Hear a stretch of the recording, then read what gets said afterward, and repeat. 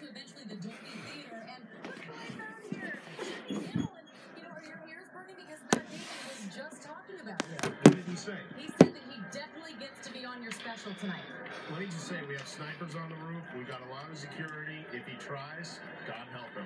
All right, so you're after the Oscars special is something we all look forward to each and every year. So other than not seeing Matt Damon, what will we see? You know, isn't that enough, really? Ben Who, you know, used to date Matt Damon back in the old days. Uh, Henry Cavill, Tracy Morgan, and Mike Tyson will be on the show.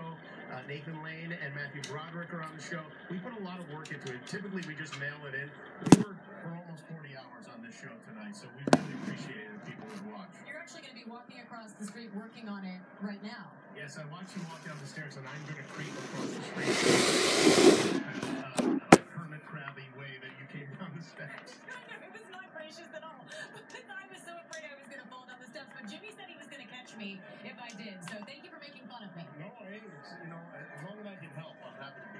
Robin.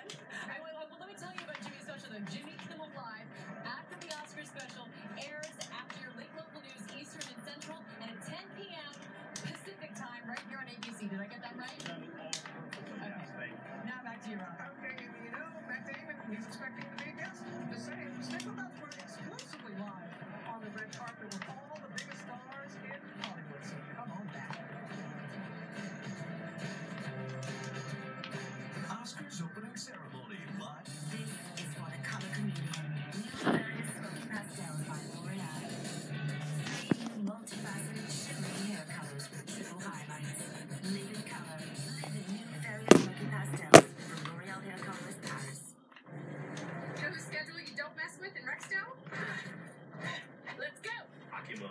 Come on.